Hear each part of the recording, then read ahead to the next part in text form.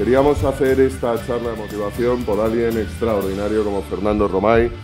Muchos de vosotros habéis oído hablar de él, ¿vale? Pero yo no, no sé si muchos habréis visto cómo jugaba. Es un verdadero as, lo ha ganado vale- absolutamente vale que todo. no, que así puedo mentir. Lo ha ganado absolutamente todo. Dentro del baloncesto es una estrella, como bien sabéis todos. Y nada, espero que lo disfrutéis, que lo aprovechéis, porque es un privilegio, de verdad. Muchas gracias, Fernando. Venga, gracias Venga, a ti, Chema. Un adelante. placer. ¿Qué debo hacer?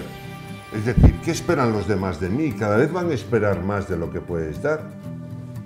Si tú das de 0 a 10, 5, seguramente al poco tiempo ellos esperarán 7.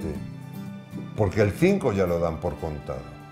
Y tú tienes que estar dispuesto a dar 7. Y una vez que das 7, tienes que estar dispuesto a dar 9. Y una vez que das 10, tienes que estar dispuesto a dar 12 sobre 10. Porque es lo que pide el equipo, para lo que te pide el equipo. Es excelencia continua. No siempre el trabajo es el obvio. O sea, todo el mundo diría, "Ah, los de baloncesto, pues esto, pues se tiran todo el día en la pista, eh, tirando, tirando, haciendo ejercicios, tal. No, necesitas una, una formación complementaria. La preparación física que hacemos aquí. En vuestra vida viene a ser lo mismo. O sea, a partir de ahora salís ahí, salís al mundo, si os quedáis con lo que habéis aprendido aquí nada más, mal rollo. Porque os van a pasar por la derecha, por la izquierda, por arriba y por abajo.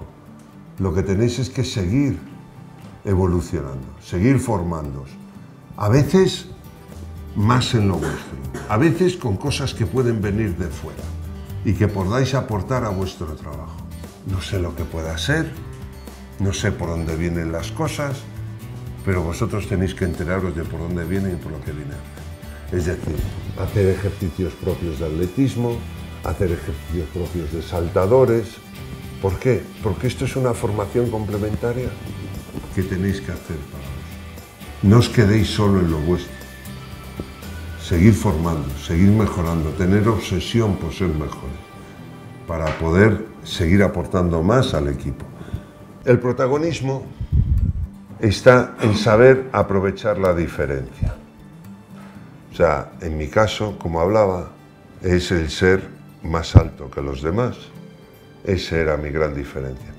Pero lo que sí, como decía, no paréis de formaros, no paréis de mejorar, no paréis de buscar otros caminos, porque hay veces que la diferencia llega y se transforma en todo lo contrario, porque hay alguien mucho más diferente que tú.